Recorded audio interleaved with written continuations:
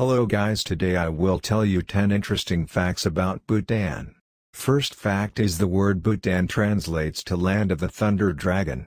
It earned the nickname because of the fierce storms that often roll in from the Himalayas.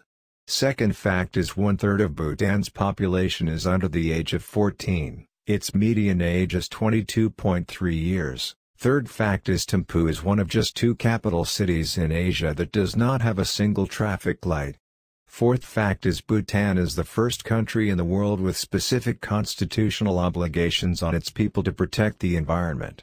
Among its requirements, at least 60% of the nation must remain under forest cover at all times. Fifth fact is Bhutan is the only nation in the world where the sale of tobacco is banned. Sixth fact is Bhutan is one of the last countries in the world to introduce television to its people. The government lifted a ban on TV, and on the internet, only 11 years ago. Seventh fact is Bhutan is the only carbon-negative country in the world. Eighth fact is archery is considered the national sport of Bhutan. Archery, basketball and cricket are the most popular sports in Bhutan. Ninth fact is Buddhism is the official religion of Bhutan. More than 75% of the people practice this religion.